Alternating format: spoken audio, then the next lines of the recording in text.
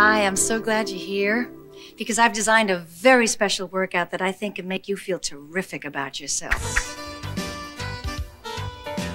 Two, two, three, four, five. The video came out in 1989. Rita already had the EGOT, was super successful, everybody loved her, and then she was like, you know what?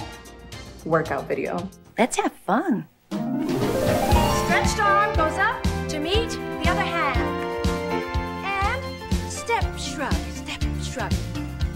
It involves coordination. It's a dance inspired workout, and I Okay, we're gonna cannot do that.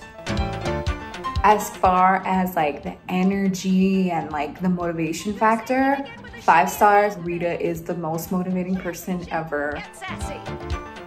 Some of the stuff was hard, like the chair section of it was very similar to a barre class. And it made me think that like maybe Rita invented barre. Now that was the hardest part. Get ready! In terms of intensity, I'd give this workout a 2.5. Let me remind you that the only thing that moves is from your elbow to your hand. For instruction, I think I'd rate it a three. She wasn't always on top of giving the cues, but I like that all the moves had really cute names. Okay, now we're gonna give you a conga that's knock your socks off. We could call it the you do the conga, you live longer. That's deep, Rita. I do want to live longer, so I'm just gonna do this. The whole idea is that your stomach is lifting your leg.